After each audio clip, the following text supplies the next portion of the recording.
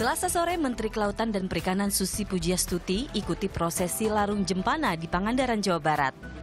Prosesi larung ini adalah tradisi warga Pangandaran tiap bulan Muharram. Prosesi adat yang dilakukan 3 km dari bibir pantai ini juga menjadi penutup acara Gerakan Cinta Laut yang digagas Kementerian Kelautan dan Perikanan Indonesia. Ikut bersama Susi adalah Malika, cucunya yang berumur satu tahun. Usai melarung jempana ke laut, Susi mengajak cucunya bermain di paddling board menuju pantai.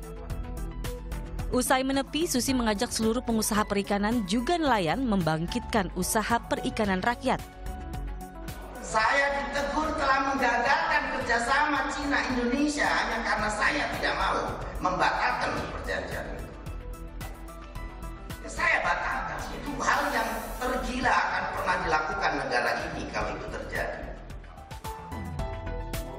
Meski keputusan-keputusannya kerap mendapat kritik, Menteri Nyentrik ini tak berhenti mengajak seluruh industri perikanan lokal untuk tegas melawan illegal fishing dan pengurukan sumber daya kelautan oleh para pengusaha asing.